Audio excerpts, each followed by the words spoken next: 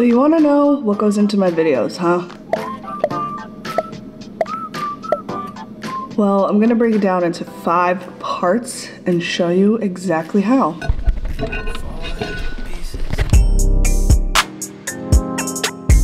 Part one, equipment. I'm gonna break part one into three sections, cameras, mics, and tripods. The trifecta of making any motion picture. So currently I use three different cameras to film my videos. I use my iPhone, I have the iPhone 14 Pro. I use this little guy, the Sony ZV-1. The Sony ZV-1 is a bit on the pricier side, but it has so many great features and this is just tiny and mighty. As my main camera, I have the Sony a7C, which is a mirrorless full frame camera and it's so compact unless you're using a separate lens, which I am, and I'm using a Sony f2.8 24 to 70 millimeter G Master 2 lens. Say that five times fast.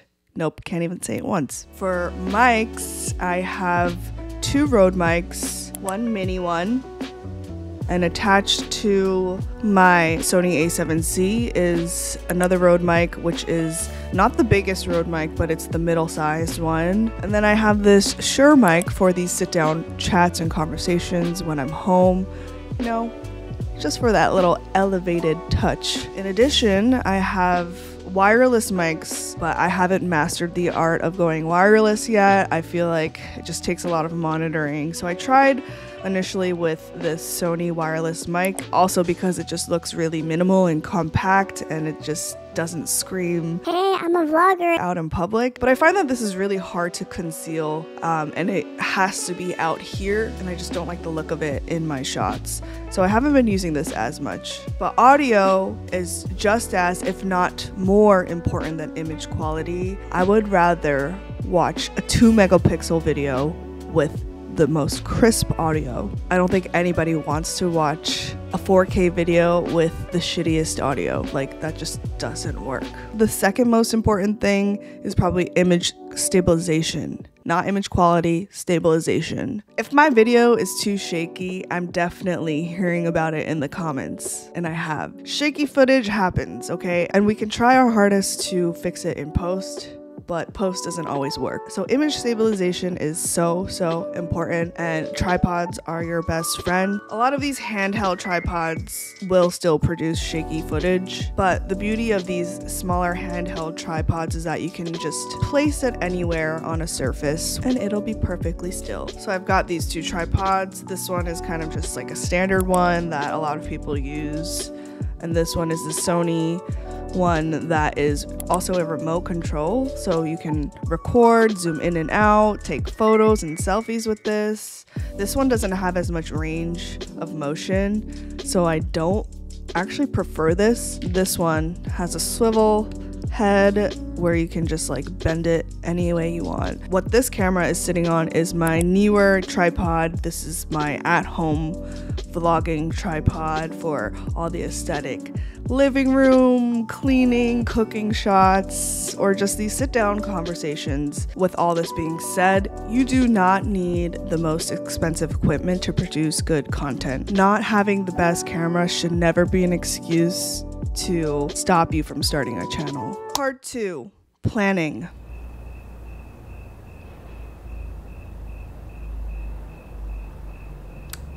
about 90% of YouTubers plan out their content in advance, and I fall into the other 10% that almost never plans any of my videos, which I highly, highly advise against. I don't know, for me, my videos are generally an accurate reflection of my week, and I don't like planning it out because it kind of feels fake.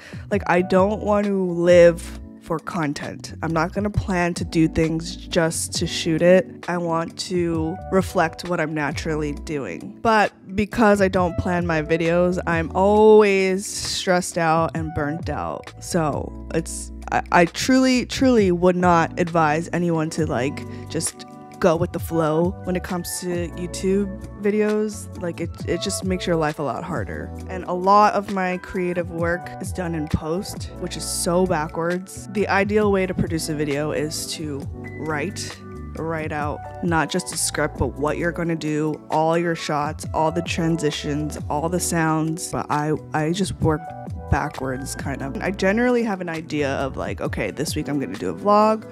This week I'm gonna do a what I eat in a day video. I have a general idea of the category, but I don't have the exact video ideated from the start, which I think if I did, my weeks and days would be a lot smoother. The only time I plan out a video is if I have a video like this where I can shoot it in a day. And this also requires a lot more organization and thought. I also got a question that asked about where I get my inspiration from. And I actually draw a lot of my inspiration from movies and TV shows. So, for example, Euphoria's intros were so impactful for me that I like, I still remember it. I just love the way an episode of Euphoria opens with a scene and then the Euphoria logo slaps onto the screen and then the music cues and it's just this dramatic effect.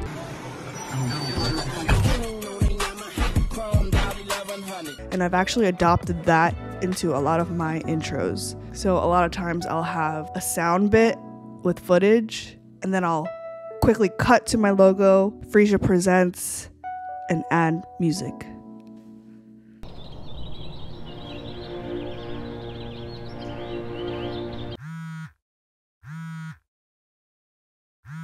Right now it's still kind of chilly out there. Temperatures staying in the high 40s. Tomorrow's forecast will be in the 60s. The beaches staying around 62. Downtown LA, expect a high of 65. That was inspired by Euphoria. Part three filming. Okay, so this is where your style really comes into play because filming is a representation of your eye. This is how you view the world, this is how you want the world to see you. So, this is honestly so stylistic. It's just really up to you. But the way I do it, since we're talking about my channel and how I create my videos, I would describe my style to be very minimal and B roll heavy. I get a lot of feedback saying my content is really clean, and I think that that's because I really like negative space and symmetry. That's just something I've always been attracted to. And that's why all my frames tend to be straight on. And it's all about composition as well, right? Like, I don't like busy backgrounds. I don't like a lot of things that are distracting and going on. I don't like visual noise. My style overall is just minimal. I also really love super tight and crop shots in general because again it allows for that negative space and it's not so busy and you can focus on one detailed activity or object. And you'll notice this mostly when I'm doing my cooking shots. They're all very tight. Fresh angles are also a great way to make your video more interesting. The most common technique I see on YouTube is uh, the POV of inanimate objects. Like when I'm pouring this coffee in the morning and the camera is under my glass, or when I'm getting this dishwasher shot. Or like the intro of this video when I had the camera in a microwave. This is where you can really play around and get creative and place cameras in places you never thought a camera would or should be.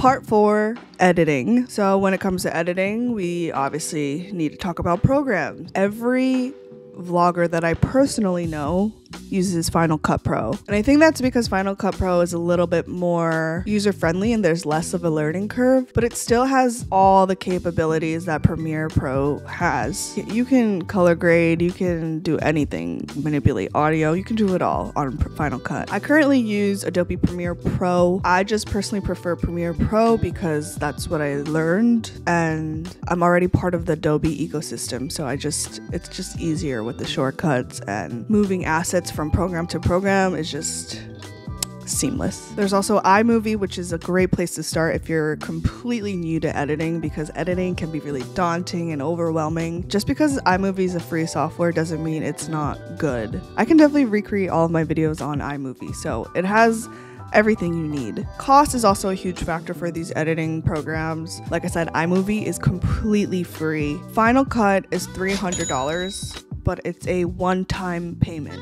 And then there's Adobe Creative Suite, which is $55 a month and that gives you access to every Adobe program. If you want to just download only one program, like Premiere Pro, for example, I think they're about 20 or $21 each. I mean, it's not cheap by any means. It's really up to you and your needs. For me, I can fully justify spending $55 a month on Adobe Creative Suite because I actually use more than just one program and this is what I do for a living. But yeah, for any of these programs, practice makes perfect. And there's a YouTube tutorial for everything like literally everything. I learn on the job a lot just by looking up things I don't know how to do on YouTube. Another important thing to think about when editing a video is your transitions. This is also something to think about when you're filming, but because I kind of just like film on the go,